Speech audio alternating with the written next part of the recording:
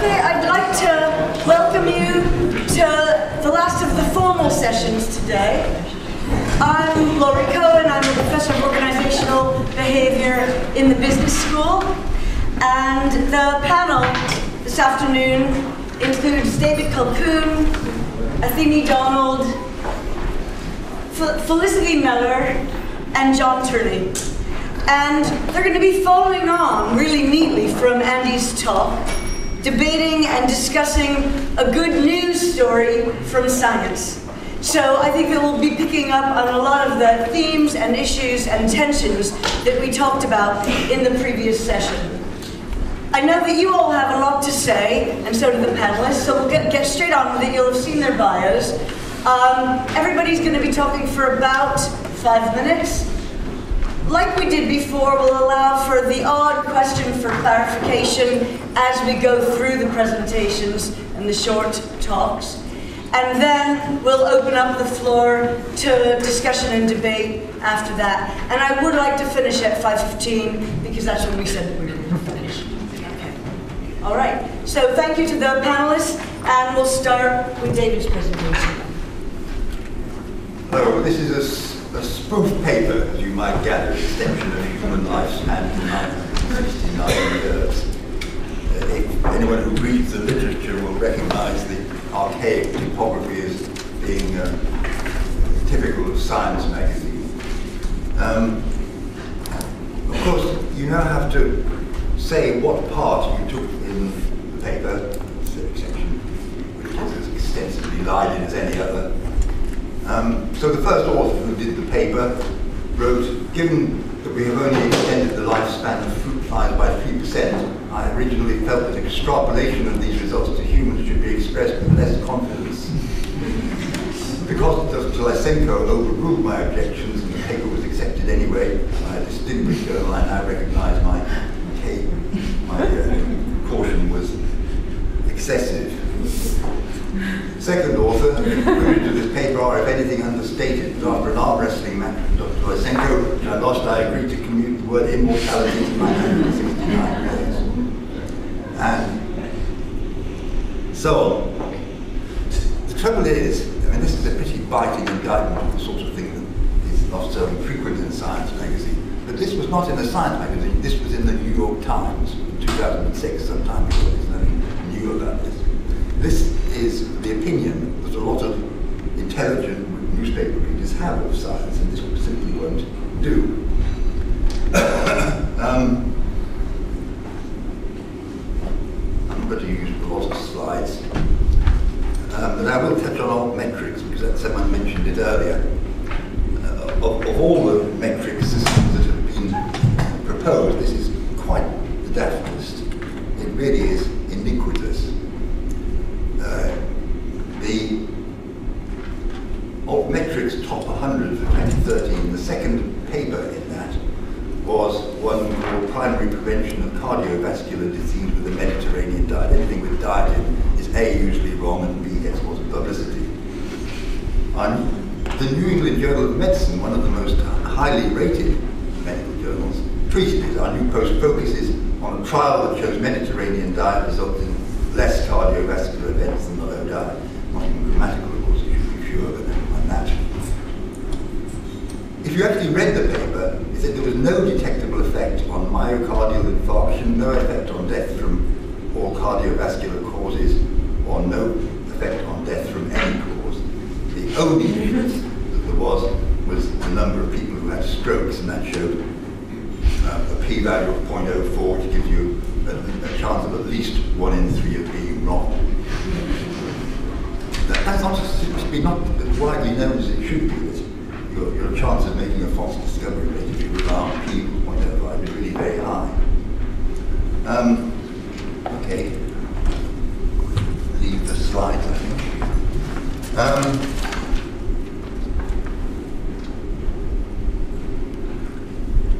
that's a, that was a journal press release, but the author ones uh, are, are the, the, university ones are usually just as bad.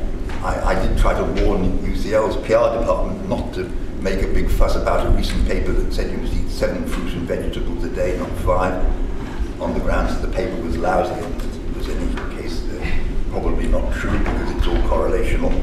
But they didn't take any notice and it got all over the newspapers. And everyone was saying, is this an April Fool joke?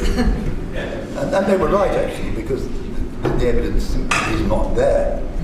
Um, but the problem always comes back to the authors. The problem is actually not the press, it's not the journalists, it's, it's not even the university PR department. It's the authors. They okay everything. They, and they will okay things that are desperately misleading because they think it'll get them publicity. And they want publicity because HEFCE says you must have impact. HEFCE is corrupting science in a serious way, actually, by this sort of thing. Um, what can we do about it? Well, certainly the biggest problem is publish or perish, and the tyranny of impact factor, something I wrote about in Nature in 2003. David Campbell, actually, who edits Nature, is quite sensible about it, but seems to me that, there are no problems in science that we couldn't solve by the destruction of the Nature Publishing Group, Elsevier, wonks in HEFCE who insist on you having impact whatever that means. What, what, what, what HEFCE says it means varies from time to time. I think these five different definitions. Um, this provides a direct official incentive to dishonesty, and people react by being dishonest, not only in major ways, but in, in small ways. The sheer volume of papers is enormous and probably 90% are not worth the paper they're written on. They're all published in peer-reviewed journals. You know, the, the Journal of Homeopathy is a peer. PubMed is just a joke for peer review in, in, in, in, journals like that. It, it, it, it does active harm. Uh, in, my own field, which is at the sort of fairly hard end of biology, uh, the referees' reports can, can be quite useful. But that's not generally true. I think that um, what we need to do is have everything published openly on the web, free to read, and with a comment section. eLife a brilliant journal which was recently started, edited by Randy Schekman, who's very good about the glamour journals. Um, but it has no comments after it. What we need is post-publication peer review of course, you have to have a little moderation to keep out the, the trolls who nation killed you, whatever you write about, which happens to be in the BMJ anyway. Um, but sites like PubPeer have shown really good acute post-publication peer review. And that's, that's, I think, is the way that it has to go. Um,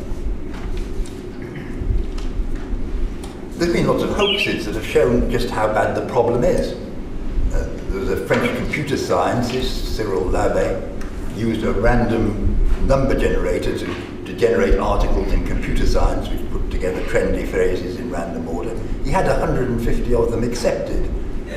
And by knowing how Google Scholar works, you've got to be the 21st most cited author in the field. And this is completely dishonest, but it works. It's gaming, and it's exactly what is being encouraged by our elders, but not betters Well, probably not my elders, but your elders um, Science got a spoof paper accepted by 157 open access journals. Unfortunately, they only sent it to open access journals, which Science, of course, has a, a vested interest in, in um, destroying. I, I do, I, it would be much better if they sent it to all journals. So, it, it, would certainly help if universities didn't subscribe to things like altmetrics, but you don't have it, because they're just money-making propositions. They're kids with computers who skim off superficial views of things uh, and sell it back to the university for a profit.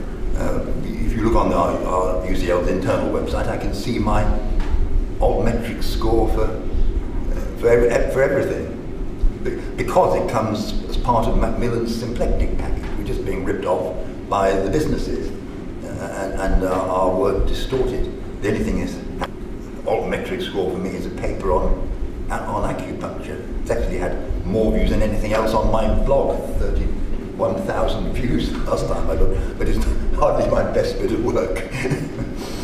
um, so, there's other things that can be done. Smaller groups, more of them. Spread the, spread the money more thinly because you never know where something's going to come up. Open access, I've talked about. And a proper understanding of statistics. People don't understand the flimsiness of the evidence provided by of view. You could probably remove a third, half of all published discoveries if you just prescribed uh, a significance level which um, gave you a reasonably low risk of making a false discovery, and that means 0.001 or a 3 sigma rule, not a 2 sigma rule. Um, I've got some slides about that, but I won't show them now. Um, now, the trouble is, we've been rumbled by the public. In polls, scientists are still relatively well trusted um, compared with many other jobs, but they won't stay that way if we go on like this. We've got to do something about it. Thank you. Thank you.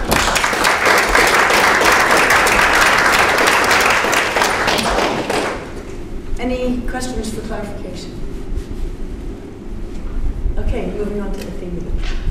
Okay, so we've heard a lot of negatives, and I, I mean, this session is going to be called a good news story, and I would like to put some positives because I actually think, as scientists, we do need to communicate what we do, um, and we need to do it honestly. And I don't, I don't think it is inevitable that we all hype our stories or uh, manipulate things, or that the journalists are out to, to do the same. So I'd like to put across the view that as an individual scientist, we can try our best, but we're not always very good at that.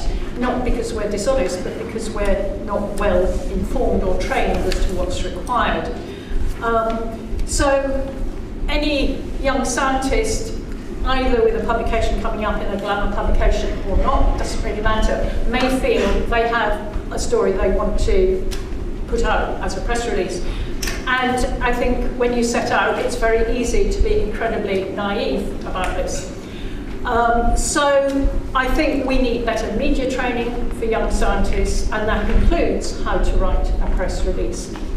So a colleague of mine in Cambridge recently had a paper out, which was something, I, it's not my field, it was something to do with cats and allergies, and it got massively picked up by the press. So the press team had written a perfectly responsible, I assume, um, press release, and she was being interviewed all over the place. Our press office did nothing thereafter to help her. So she was getting all these questions, she was getting all these interviews, and my own view is that um, our young scientists need to know how to handle that kind of thing. She said that she felt um, utterly wiped out by it, that she got some confidence as she went through and did more and more interviews. But that's not really a very helpful position to be put in. Insofar as these were radio interviews, I think largely she had some control. It wasn't that a, a, journalist was reinterpreting her words or anything, she was in control, but nevertheless, it is very easy under pressure to slip up. Um, there is, of course, lots of uh, lots of control. We haven't heard much about um, sub-editors and headlines. Um, I feel quite strongly that that is often where things go wrong, um, not necessarily in the least bit deliberately, um, but they do tend to um, focus on the thing they will they think will catch the reader's eye. Um, I recently, uh, not particularly a science story per se, but I recently got into some kind of argument with someone in Nature about a piece they wrote about the number of women elected to the Royal Society this year, which was actually a fairly respectable number. It wasn't brilliant, it was fairly respectable. But the headline was written, uh, Royal Society trails behind the National Academy of Sciences small print, if you read the article, pointed out all the things the Royal Society was doing and all the uh, the fact that the pool is larger in the States and all that kind of thing. But the headline was, I felt, deeply misleading. Um, and I think in that case, the journalist came back and said it, that they had written the headline themselves. It wasn't a sub editor. But nevertheless, I think that quite often things go out of control through the headline. Um, my own experience as a, a, young and very naive scientist was not around um, a results paper at all. It was a press release that went out about a large grant we'd got. Um, and I had no idea, this was in the late 90s, I had no idea what could go wrong. And it, we, we got a large grant about colloids. And if you don't know what a colloid is, don't worry. Um, uh, but you wouldn't expect anyone to know what colloid is, it's fairly technical.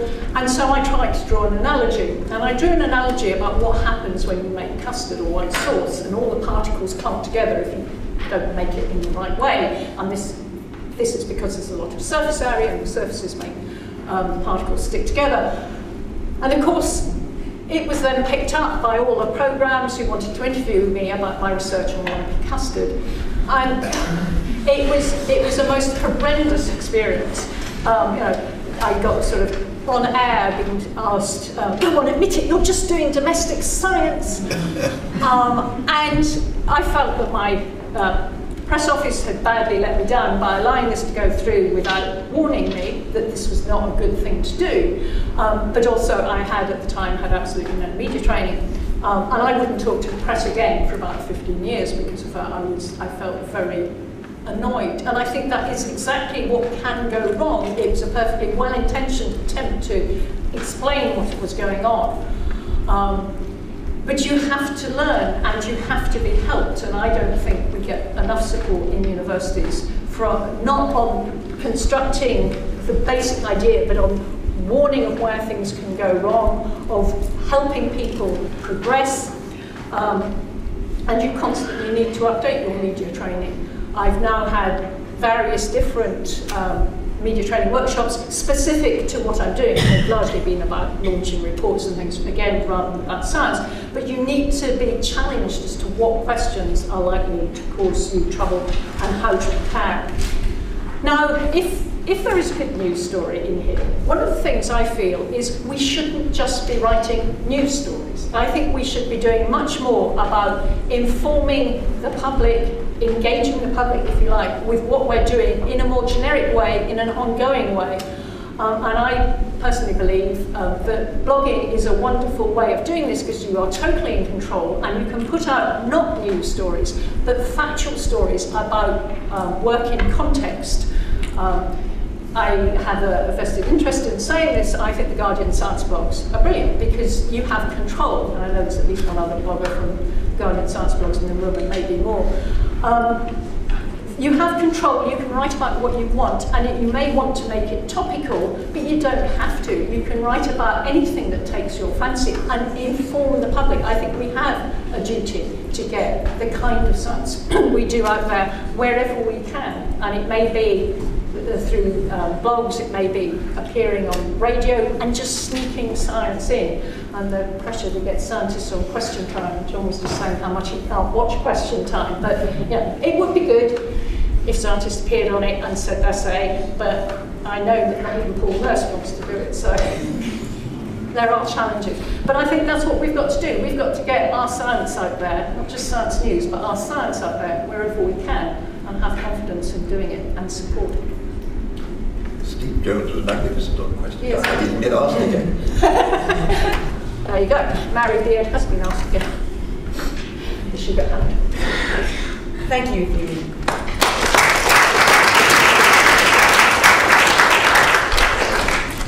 Any questions along the way?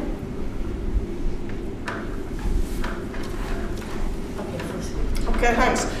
Um, so when I was preparing what I might say today, I thought, what on earth can I say that Andy Williams won't already have said? And indeed, Andy Williams said everything I can possibly say. So um, I'm going to be perhaps a bit repetitive, but uh, a more positive way of putting that is I'm going to reinforce some of what Andy said with um, some ex- an example of, uh, from my own research.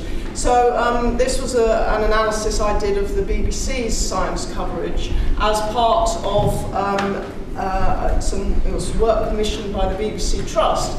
Each year they undertake to examine some aspect of the impartiality of their coverage and they choose a different topic each year. They've done Palestine, they've done business news, um, and in that year, I think it was 2010, um, they chose to look at science, and as part of the review, they commissioned a content analysis, which uh, I undertook.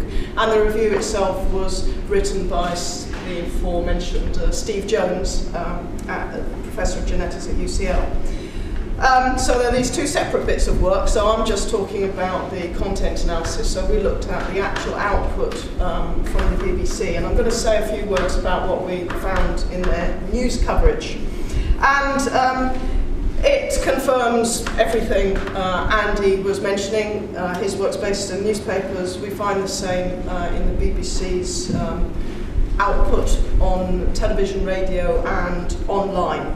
So um, the one, the main thing I want to um, mention is, of course, the uh, issue of press release dependency. So we found that about um, three quarters of the broadcast news items about new research findings, so that's quite a specific you know, sort of sample, uh, but three quarters of those items appear to be sourced from press releases.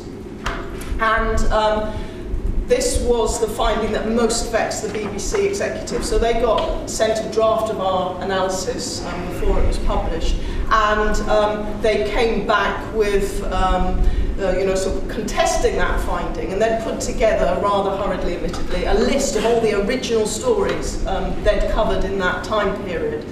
And, um, and yeah, I worked out if, if, um, if those were all their original stories, and it might be they forgot some, but if it was as a proportion of their overall output uh, in that time period, actually it was pretty much as we'd found. It was uh, three quarters uh, were derived from press releases. Um, so this tells us one thing about the sort of professional ideal of journalism, that they want to be um, sourcing original stories, and they see that as part of the, you know, the true grit of being a journalist is, is you, you've got a nose for a story and you go out there and you ferret out um, the, the stories, you get in scoops. Um, and that might I think we need to be a little bit careful of just sort of uncritically accepting that nostalgic notion of what the journalist does. And I think um, since our um, analysis, the BBC have perhaps put a little bit more effort into finding original science stories. And actually I find these even more problematic because to get those original stories, the journalist has to get close to the scientists and get into those labs. And it's almost like the problems with an embedded war reporter, that it's then almost impossible for the um, science journalist to say anything critical about that story if they've got sort of um, um, sole um, access into that laboratory. Um, so for me, the problem is not so much that stories are sourced from the press releases, but that so little is then done with those press releases. Now, for the BBC, of course, it has to do something because press releases tend to be written documents, and um, uh, what the BBC needs to put out is, is TV and radio packages. Um, but they tend to, as Andy suggested, follow the narratives, the framing, the, the, the um, um, way of presenting the um, story that um, the press release material does. And um, in particular, they rely mostly on interviewees who are named or are associated with the institutions that put out the press releases. So they're not looking for additional sources beyond what the press releases provide. So we found that almost three quarters of BBC broadcast news items um, associated with press releases included no in interviewees um, at all or else relied entirely on contributors um, associated with the press release institution. And only 11% of items, so only about 1 in 10, included comment from scientists whose institutions had not been mentioned in the, uh, had not put out a press release. So they're not looking beyond the press releases for contributors. And then that relates to another issue um, that I think came up in the discussion after Andy's um, uh, talk about balance. So balance is something that um, scientists worry about. They, they feel that the BBC and other news outlets overuse balance when reporting science, that they use false balance, that it um, is inappropriate to use balance in, in covering science stories. In fact, what we found that uh, we found quite the opposite, that most science reporting has no balance at all. Um, only about a quarter of BBC um, broadcast news items and just over a third of their online news items included a contributor who expressed any form of critical comment about the research being presented. And in most cases that was quite a cautionary comment, so it might be something along the lines of, well, more research needs to be done, or, um, and there might not be funding to develop this, you know, some sort of caution like that, rather than fundamental questioning of the, of the assumptions behind the research. So there's very little interrogation of the actual conception of um, the research and, and the assumptions on what it's based. And where there are critical comments, this rarely comes from scientists. So we also we found that the use of balance when it did appear was perfunctory and quite mechanical. The, the, the journalists would go to the usual suspects. So if it's a story about animal research, they go to the British Union for the abolition of um, vivisection. If it's a story about climate change and they want balance, they go to uh, Nigel Lawson's outfit, for instance. So, so they go to the usual suspects for um, oppositional comments that come from outside science. We hardly ever see um, this sort of questioning of science coming from um, scientists who are not connected with the research. Indeed, we found that in just 6% of the um, items reporting on, on research. Um, so the, the problem is then that um, science journalism in this culture of journalism fails to probe and where balance is, is deployed, it's done so in that mechanical manner.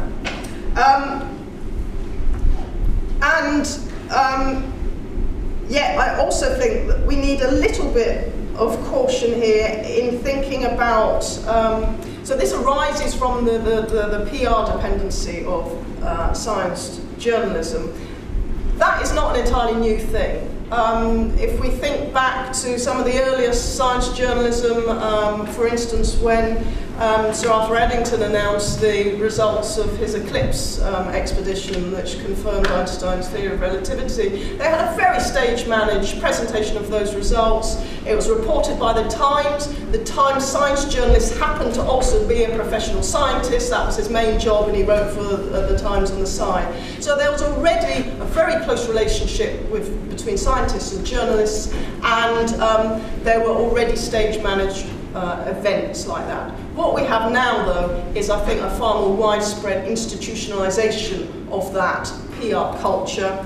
And what's more, that takes place in a context of uh, commercial corporatised media and equally a corporatised science. And I think that's where the, the real problem lies. Thanks, Lucy.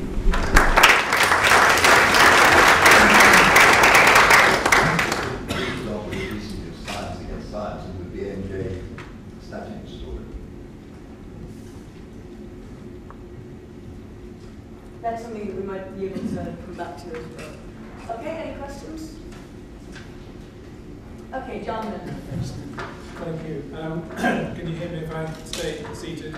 Um, I too wondered what I might add after being, being the fourth of four and following Andy's keynote. And I have no research, um, but I have I've been around for quite a long time, or at least it feels as though I have, as you gathered earlier. So I took this invitation as a, as a prompt to reflect on back to about sort of 1980 when I kind of got into writing about science and policy. I'm not going to try a full retrospective. I, I don't even know how you would do that, but it would be an enormous research project. So this is nothing but a few impressions, and they're under the general intensely controversial heading of some things have changed a lot and some things have stayed the same.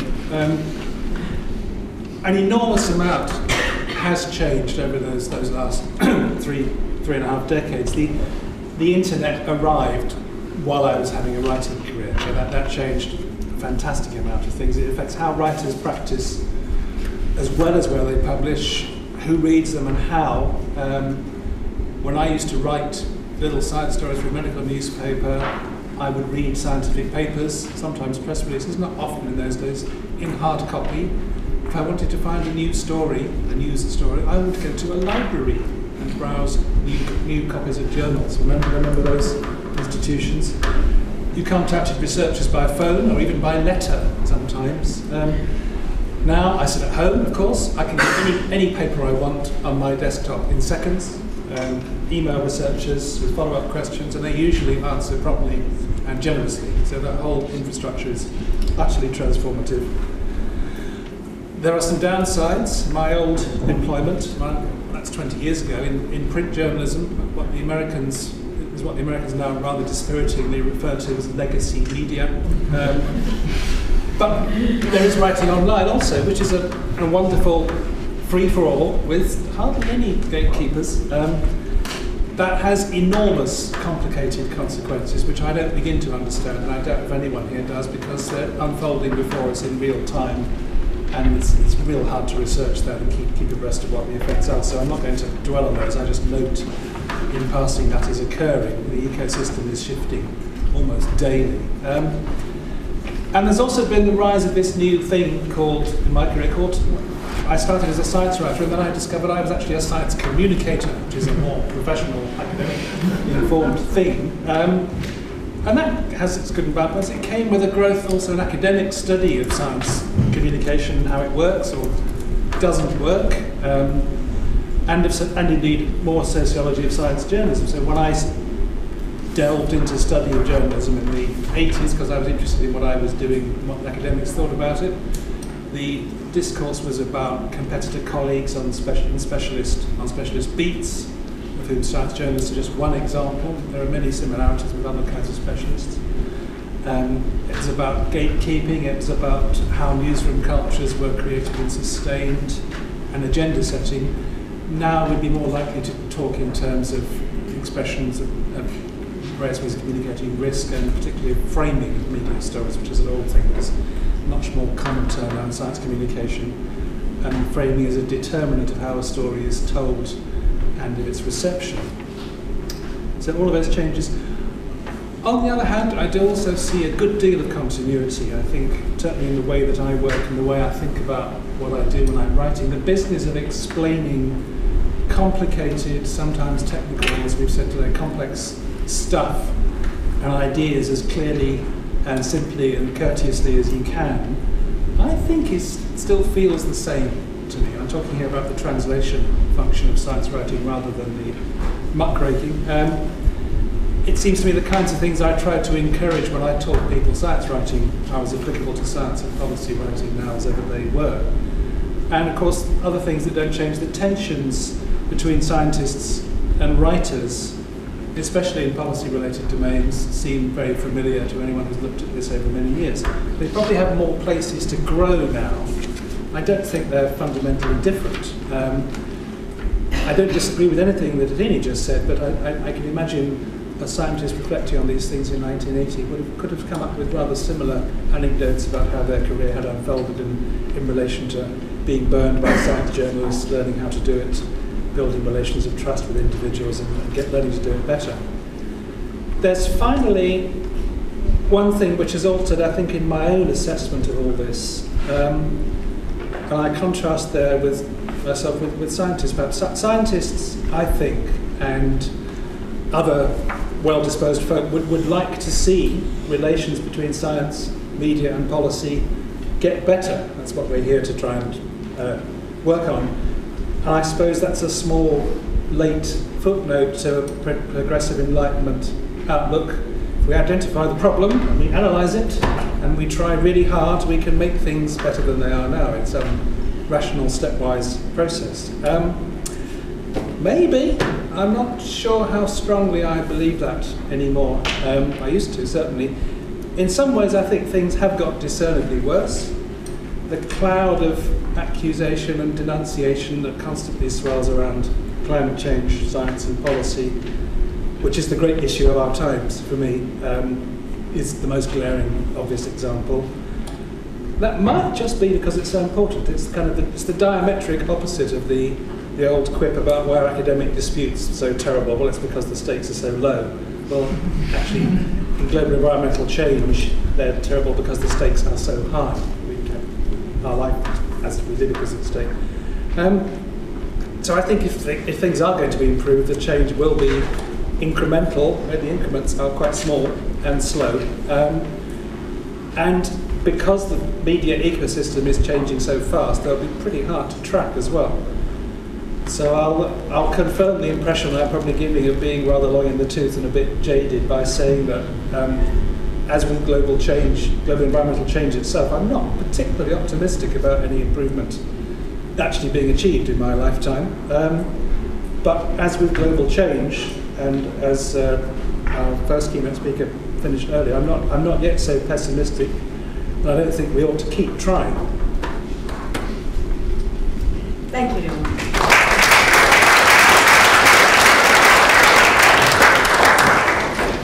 Okay, any specific questions for Jon before we open the discussion up? Okay, like we did before, if there's a specific person who you want to direct your question to, then say that. And also, if you can make sure that you have got the microphone when you speak so that it can be picked up by the video, that would be great. And we'll just try to answer as many of your questions as we possibly can, whilst also giving the panelists plenty of time to answer. Okay, so we'll start over here then.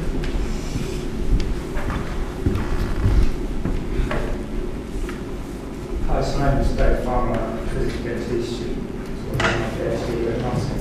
Um, my, my question was uh, primarily for, for Athene here. You mentioned you, you'd love to see media training part of science training. Uh, I, I agree with that really, so as a communication training generally, writing blog posts is totally different to writing a science article. I think that's really lacking in what science courses. But I was wondering, when, when exactly in sort of field of science education did you see this? Is this something you just try to catch early research before they make a big mistake, or, or would you embed it early on, almost the undergraduate level? I think some of the stuff you can do at undergraduate level, but I think certainly one-on-one media training just isn't feasible. I think you can have some classes in writing different styles, which I think would be wonderful. It was certainly nothing I was ever offered. I think what is interesting, certainly in my own university, it is clear that there is media training, I think for PhD students, but certainly for postdocs that's available, but not later, which is, I think, I mean, it may be that in due course that will be fine, but at the moment, the people who are putting out the press releases aren't the ones who've had the media training. Um, things like the Royal Society for their University Research Fellows provide media training. There is, and, and the research councils do quite a lot. But a lot of that is to early career researchers, and I think there is a gap in kind of mid-career, which may well be when you find you need to do it.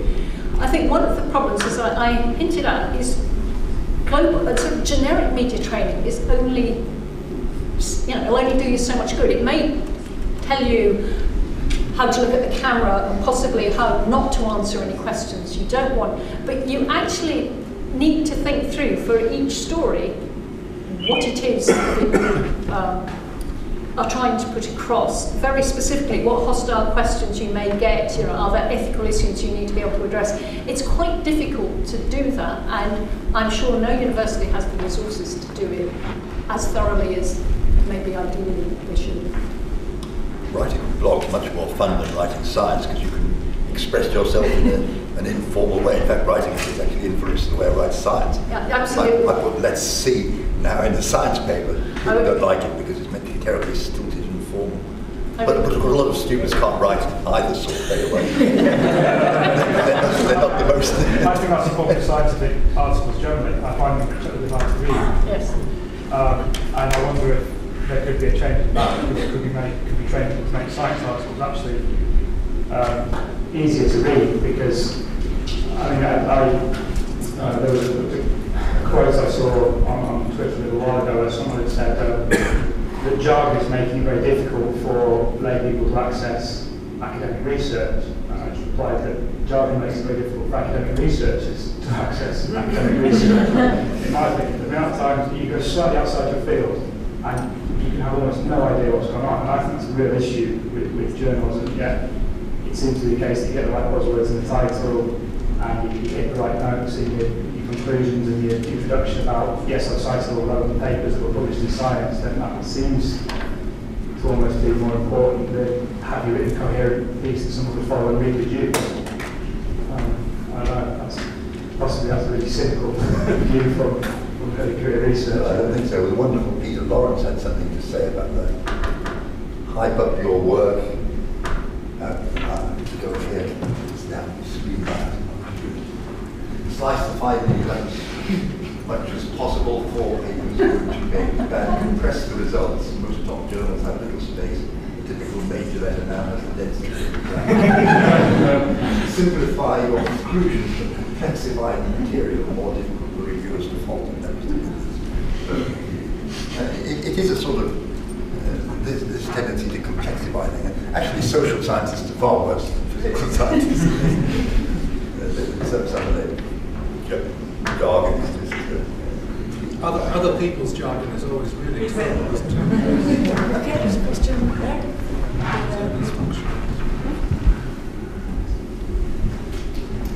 Hi, my name is Fiona. I'm doing a PhD in chemistry here at Nottingham. Um, my question is um, for Felicity, actually. It's something I noticed you saying you were talking about um, scientists and, in the BBC and not having balance. And you said, um, I was just wondering if it, if it is good to get other scientists contradicting work in the media. If you've got a media full of scientists contradicting each other, are you just going to end up with people who just don't trust scientists at all? Um, yes, that, that is the, the danger. Um, alternatively, perhaps we would develop a more sort of mature understanding of the nature of science and would see that it doesn't offer absolute statements about the world, but rather is um, something that's cautious and tentative um, and that at the essence of that process is um, the process of, of questioning. And that's currently sort of invisible in much news reporting until we get to a controversial episode where the science is contested. Climate change is the big example, but you know any sort of public policy issue that draws on scientific uh, evidence, the science gets contested, and we just don't have the the language or the habits um, in which to enter into that arena. So it becomes very polarised, and it's this camp and that camp, um, and it and we're expecting um, a simple answer about which which side has got, the truth, and, and often not that answer. So I think we've got to trust in public intelligence, dare I say, um, and suggest that if those debates were out there in the public, that, um, that, that they'd be taken for what they are. And indeed, I mean, maybe that Statin example the other day was an example of that. That you know, Well, it got worked through and talked about, and and you know, we sort of got through that. Do you know the story? I mean, briefly, uh, someone had a paper quite not very long ago in the BMJ. Statins got side effects, but that was an uncontrolled study. There was no uh, no control in there, so it was obviously not very reliable number. And, but after that, somebody did it properly. Actually, this author, this contained Ben Ben Goldacre, among others, so I believe it, uh, showing that the placebo and the control had just the same uh, rate of side effects, or almost the same, not quite. Uh, Ben, uh, ben points out that's reliant on data that comes from companies which may not be complete. But it, but it looked much better for statins. But the professor of, uh, uh, head of the clinical trial unit in Oxford, very angry about this uh, paper which contained the reference to the uncontrolled study and demanded that the whole paper be retracted. Now, if, if you had retracted a paper because it contained reference to uncontrolled observational work, the entire literature on nutrition and health would vanish overnight. and the, the, the, the, the, the question of whether you should take everyone over 50 should take statins is, is not a simple one, whatever Rory Collins said. I think actually the AMA were quite right, but the, the BBC didn't put it that way. They kept on saying to the Godlee, editor of the AMA, gosh, you got an egg on your face that time, didn't you? I think that was wrong. Okay, the woman next to Danielle. But it does no harm to have, sorry, it doesn't no harm to have that there. I think it's good actually. Okay, I'm really loud, so just reverberates. I apologize. So I'm Sylvia McLean from the University of Oxford. One thing I'm finding a bit difficult about this discussion is for two things. uh, one of which is all kind of negative, um, and it almost sounds like scientists are going out of their way to do bad PR and to mislead people to get high impact papers. Uh, maybe my science just isn't that sexy, but I kind of feel like I try to be as honest as I can. And the other thing it sort of neglects is the fact that much science ends up being wrong. And it ends up being wrong because we have new data, not because there's something nasty inherent in the system, or maybe somebody's actually made a mistake and forgot to divide by two in their paper. And that happens as well because we are just humans. So I think there's been, uh, maybe I'm wrong, but I think this debate's I think actually neglecting a bit of this. Are So you that's directing to to the whole, you. the whole panel? So who would like to start? start answering that? Well, I, I would certainly agree. I think this is coming out as very negative, and I think that's a great shame.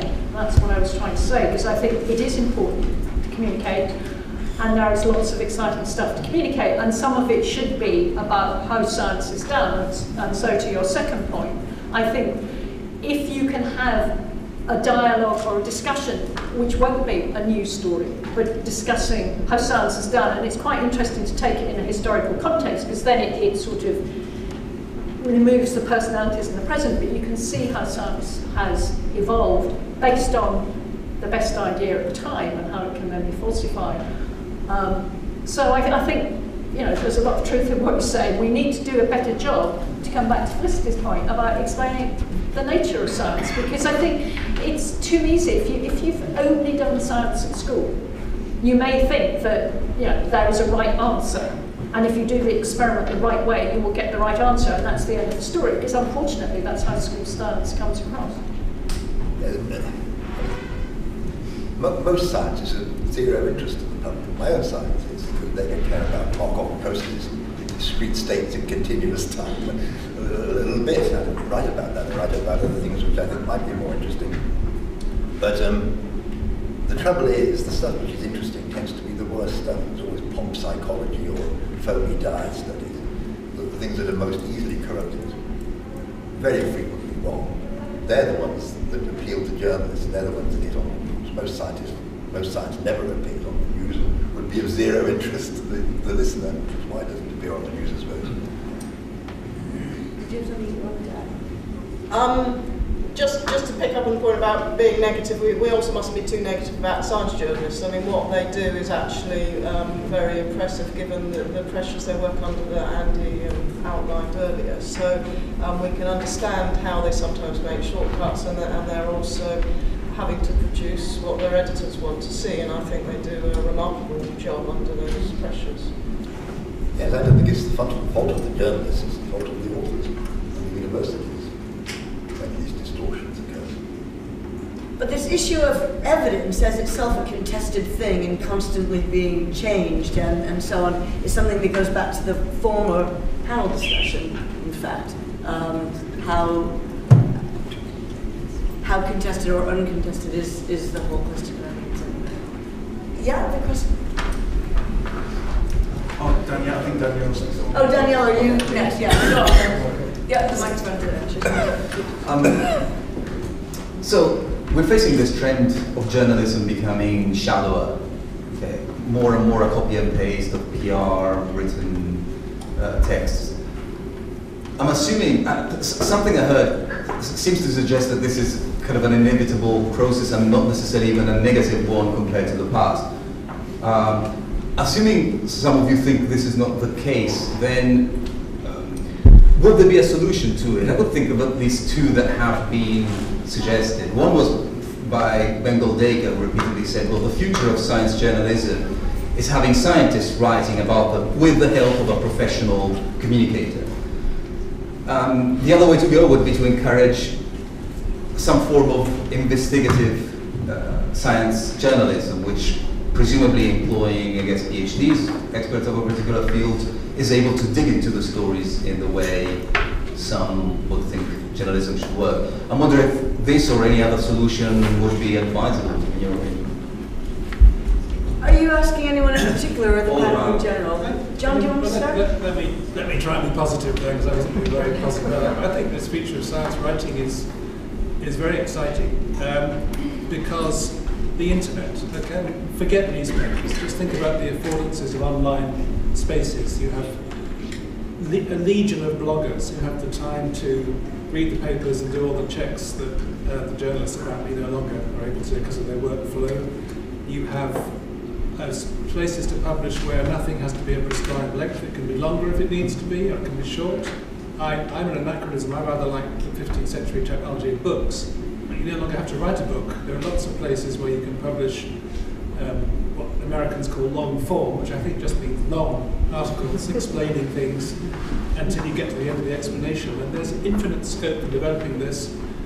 Lots of caveats about how you monetize it, how the, the organization stays alive, how the people who write the stuff make a living, but you know, solutions will be tried and thrown and discarded and eventually found. And it transforms the information landscape. So I was, I absolutely think Andy's research is of the highest quality, but my personal view as an internet consumer is you know, nobody who wants to be seriously informed about anything would read a newspaper anymore. Why would you? They're just such trivial, shoddy goods. There's other stuff out there, if you go look, and some of it is fantastically good, and I'm, I'm constantly overwhelmed by more really, really high quality things to read than I could possibly cope with in a way that I didn't experience 40 years ago. Yeah. Uh, I mean, the Guardian's called on to this very well. Lo- Lots of the Guardian science blogs are written by scientists, which has two advantages. They, tend to be better quality and uh, more thorough, and, and uh, for, the, for the paper, they, scientists work for nothing.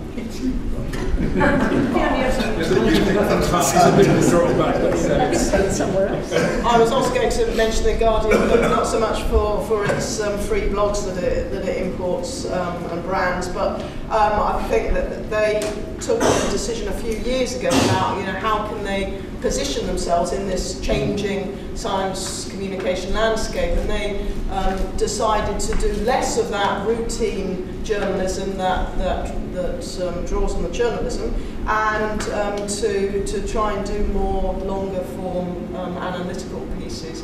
Whether that actually shows up in their output or not, I, I think is questionable, but um, that was at least it. Um, and likewise, we should remember that science journalism happens in other places as well. So the, some of the main journals, of course, have news ends to them. So Nature and Science um, produce um, some excellent science journalism, and um, they employ people who are essentially journalists as well as their sort of behind the scenes uh, editors of the, the specialist output. And um, I think that it's, um, you suggested that um, perhaps the, the, the people to be doing that sort of more probing analysis are people with PhDs in the field. I think that's absolutely not right. Um, I think the, the best journalists are um, the people who are able to ask questions and think of who to ask questions of, and uh, having a PhD in that specialism is more likely to be a hindrance than a help. Ooh, that's an interesting comment. Yes. Some people might want to reply to that. But first, there's a question in the back.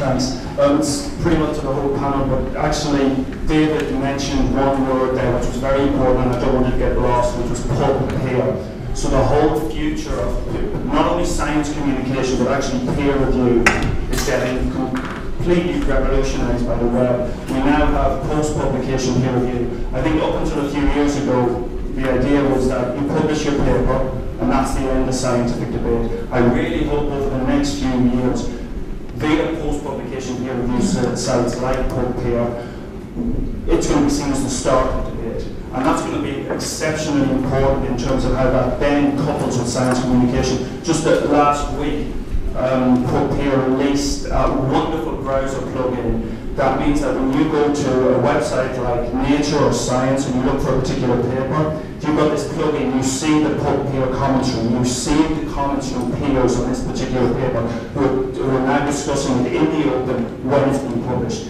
That, I hope, will be revolutionary. Yes, it should, it should come straight after the paper in the journal, of course, it probably will soon. Yeah. Up here being a separate site, it's a bit clumsy, but it does well. I think the one caution I would say to that, film is that there are sites where you can put your comments anonymously, and it's rather like trolling, and I'm sure you know about this. And I, I think, I mean, I think this is something that, that, that does need, I mean, David referred to moderation. I'm not sure this is moderation, but I just think we need to have transparency. Yeah, or at least there's a debate.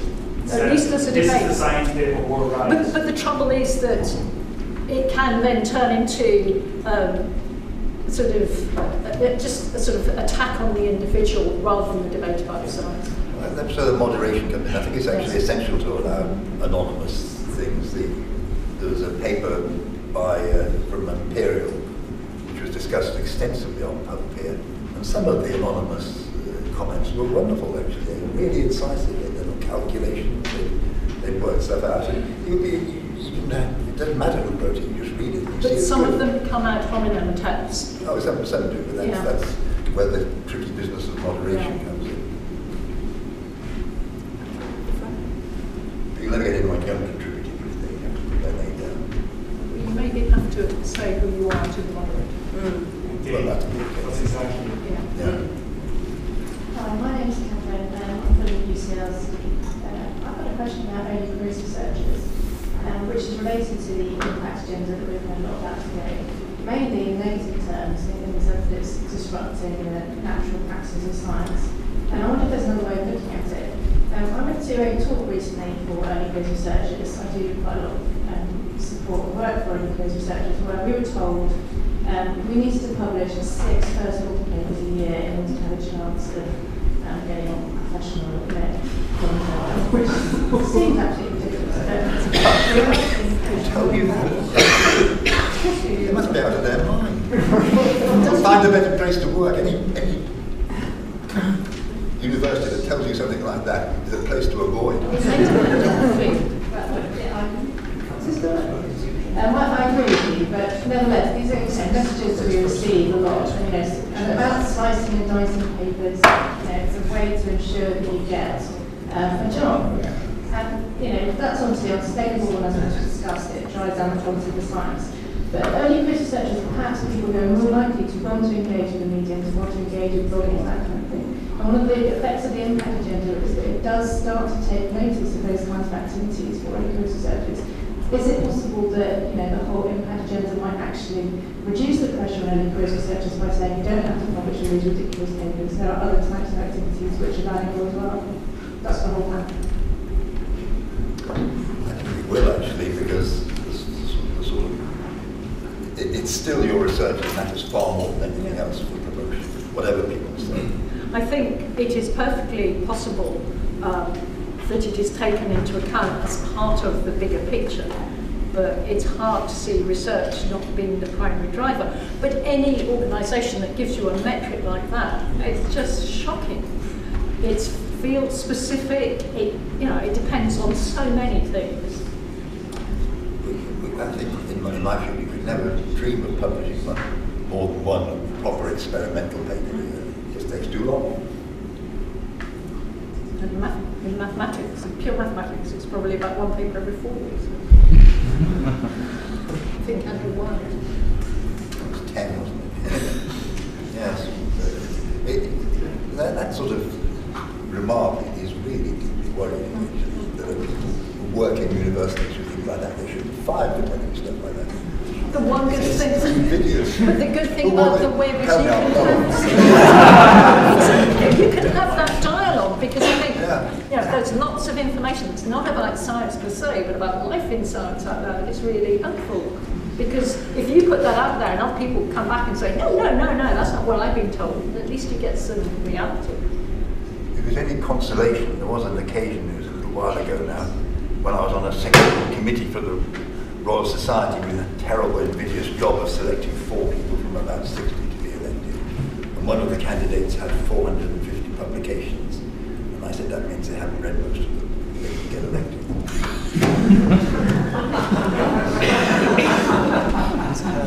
I'm so glad it wasn't oh, their H index is something, because that's another kind of comment that should be banned yes.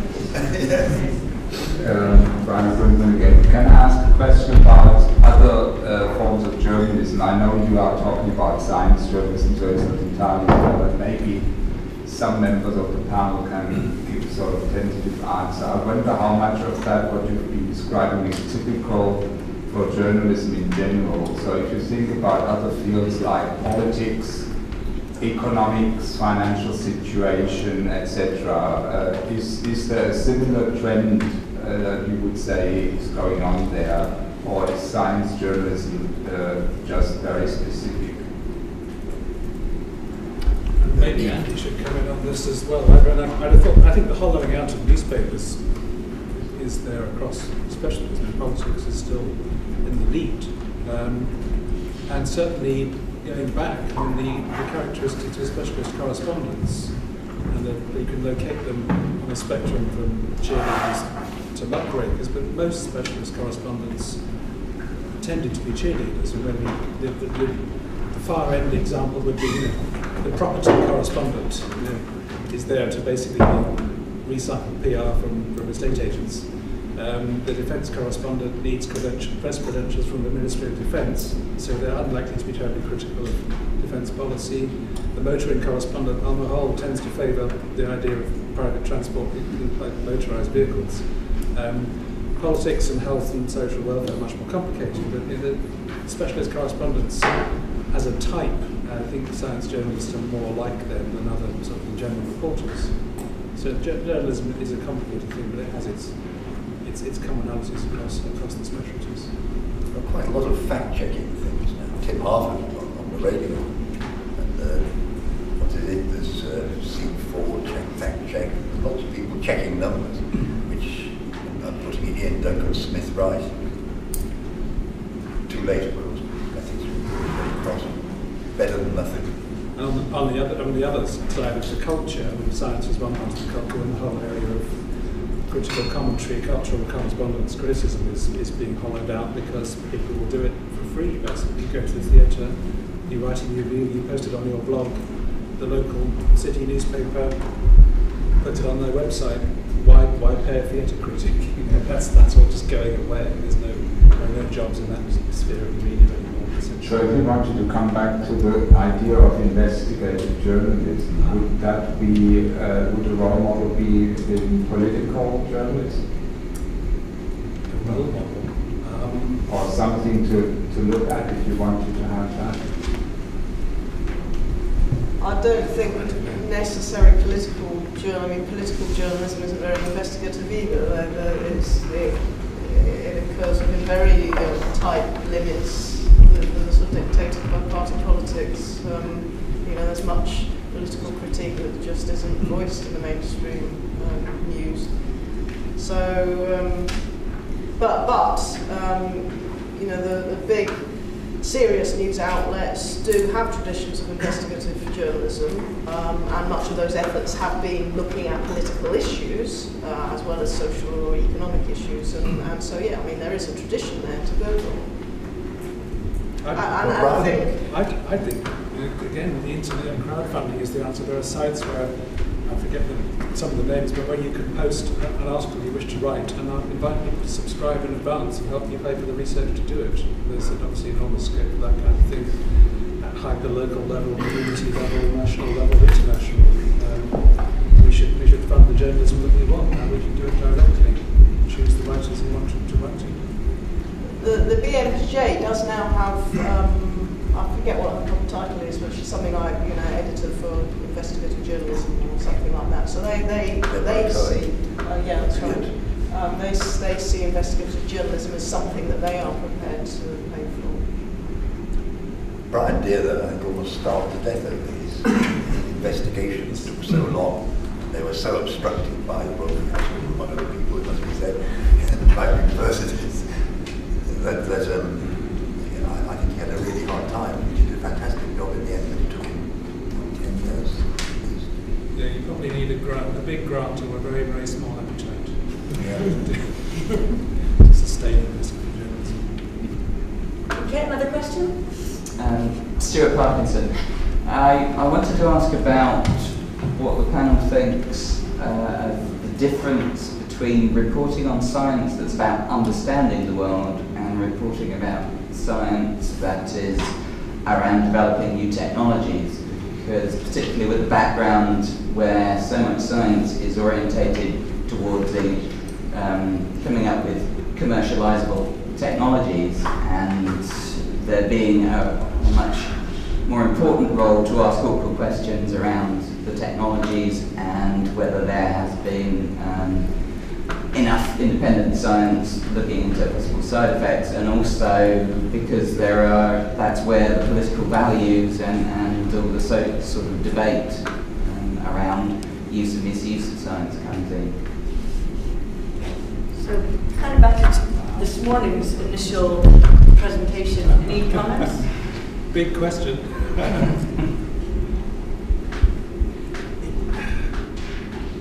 it's really hard to talk about either, that's either science that's separate from technology or even technology is a. And technique, there's an aspect of, particularly of legacy media, but even the net, where technology is just shiny things which you, you, you will buy. There's also technology as in how do we decarbonise the economy, where we have a society where oddly every, every energy source you can think of has people who are strongly against it, which is a peculiar position of society to be in.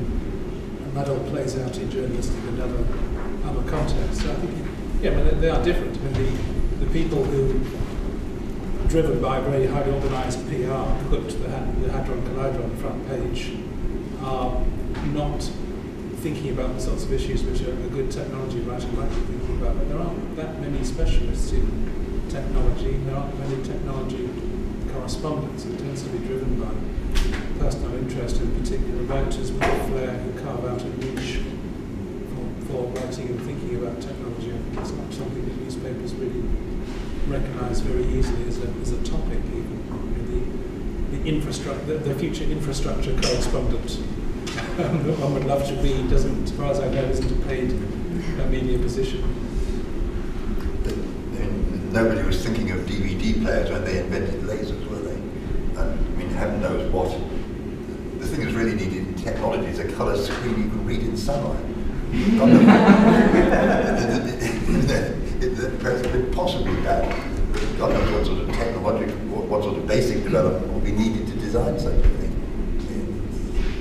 But I think it's also a case of sort of intersecting different areas because um, the, the Longitude Prize that's just been launched this week, one of the areas is around improving life for, for patients with dementia. And there's quite a large ethical element to that. And you, you can't just discuss, I mean, tagging dementia pa patients so that if they go AWOL, they can be tracked. You know, that, that technology exists, but the question is, is that an appropriate thing to do? And I think you cannot take the technology in isolation there. Okay, Andy, did you have a question? It was more a comment. Am I allowed? Is that right? So make a little comment. About, first of all, whether science journalism is unique or whether the same problems that we talked about occur on other things. Um, I, I, I agree with Jon, but there is some evidence in literature which suggests that because of the particularly technical nature of the knowledge that needs to be communicated, going native, as they call it, is more of a problem slightly in, in, in science news. Um, but the, the, the one I really wanted to talk about was, was, was where the role models for critical investigative news, um, and you said you looked at politics too, but I, I don't think we should be looking to different feats of the mainstream news media. We should be looking to different funding models for funding investigative news. And there are really interesting things happening with organizations like the Bureau of Investigative Journalism, ProPublica in the US.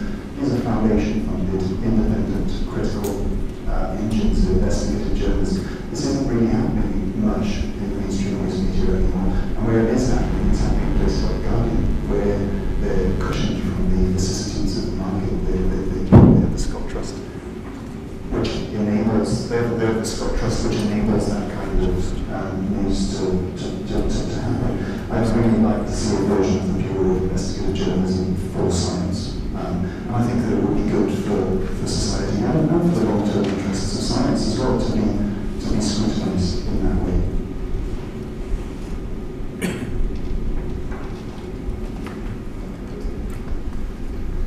Well, that's the kind of thing I was trying to allude to as well. And I, I think crucial will be a plurality of funding sources. I, mean, my, I, I bow to no one in my admiration for the Wellcome Trust. They've just funded a splendid new science magazine with a weekly feature called Mosaic.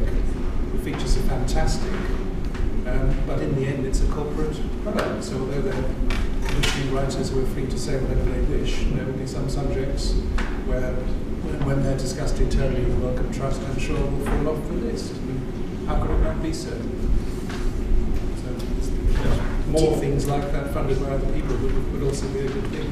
Or funded by Wellcome, but through a foundation, puts firewalls around this stuff. I mean, it would be interesting to put a proposal to Wellcome for a Bureau for Investigative Journalism for, in Science. Uh, Sure. and I'll, Yeah, I'll help you write it. And, uh, I think, I think I spend some of my time doing that. You know, some paper hits the headlines and I go away and read it properly, and, and, uh, and half the time it turns out to be rubbish, and I say so. And it's quite fun. But- But I couldn't do it if I had a full-time job. You see, that, You know, to expect uh, young academics to do this as well as the 10 other jobs they're meant to be doing is just, just pie in the sky. They're really working 60, 70 hours a week. Over and above reporting scientific news or new scientific knowledge, do you think that there is any valuable role that other forms of sort of cultural media play in the dissemination of the scientific process? I'm thinking about programs like Jim Al-Khalili's The Life Scientific, Desert Island Disc, or programs like that. Um, the Moral Maze is another one. Well, I, I would say uh, Start of the Week and um, Melvin Bragg, because I think they're, they're programs that a lot of people listen to week on week on week, and then you can get some science in there. Mm. Um, and I think that is an extremely effective way of. I mean, you should be able to talk about the science, no, not the scientific method, but you know how science is done, Mm. um, and get it across in, in, in appropriate words. I, I was saying to someone earlier today that I thought, why can't we have scientists discussing what's in the newspapers, you know, on the Andrew Marr show? It seems to me there are lots of places where scientists could do a really good job of talking about science in a generic kind of way and helping to, you know, let the public know what it we get up to, what it is the taxpayers' money goes on. I wish there was more of that. When, And when I- they have what tomorrow's papers on BBC Yes. News about past eleven, I'm always going, Bob, start tweeting like that. because the journalists sort of strand out there, I don't really understand anyway. Well, I mean, it's good if they get a science story on it talk about. Yeah. But, um, yeah, they should, they should have a few more And, signs. and I think I mean, it, it's, Vital power, that's all. But There's a slight problem with the fact that the BBC doesn't have many people there who care enough about science to want to make this happen, and I think that is a challenge. Our analysis of the BBC's output included non-news um, outputs, and then we found science in a huge range of programmes and quite a large quantity of programmes on some channels, not on others, of course. BBC Three has virtually zero science, but um, you can find it on other channels. Um, uh, one thing we also found, though, was that so scientists got to speak on, on such programs. There was almost no presence of other sorts of academics who have expertise in science. So, sociologists of science, philosophers of science, ethicists, historians of science, we get all these history of science programs on TV. You never see a historian of science. And Melvin Bragg's um, program is a great exception there because he does get the historians in to talk about history of Simon science. Shakespeare. Simon does Simon and- so it's, and it's- yeah, yeah, I'm, Schaffer. I'm exaggerating slightly, but um, and maybe that's actually those were more recent. So maybe actually they listened to that bit of, of our analysis. But in, in our, I think the figure was something like three percent of contributors were um, science studies types. Um, so it's not only a problem about um, what is the relative number of science um, scientists to these other categories? I'm not sure that's relevant. It's what is the topic, and if the topic is the history of science, why do we hear scientists telling that? Um, when the people who know the, the subtleties of that history and, and um, the nuances are, are probably the Well, historians. Simon Schaffer does turn up. Yeah, yeah, Simon Strickland. Yeah, yeah. Well, history of science, I'm not, I, I'm not sure I want too many social scientists or philosophers. Certainly not. This is Phil, I think if this is the last question. It's not even a question, it's a very, very brief comment. The whole focus has been on the BBC and traditional media. So Minute Physics, a YouTube channel, has 2 million subscribers. Vsauce, a similar science channel, has 6 million subscribers. There's a huge, you know, and the vast majority of 18 to 24 year olds are not watching traditional television. Any television they watch is on their laptop. How, how many videos has that Numberphile got about the sum of Oh, yeah. positive integers? Absolutely, Mine's yeah, over yeah. 12. It's Yeah. Two million, well over two million, yeah. And that's a really esoteric topic as well. Has it got more than your rocks on it? Yes. Okay, I think we'll wrap it up. It's just past 5.15. I want to thank the panel so much for a really interesting hour and 15 minutes and to you all for your attention and your engagement and all of your interesting questions.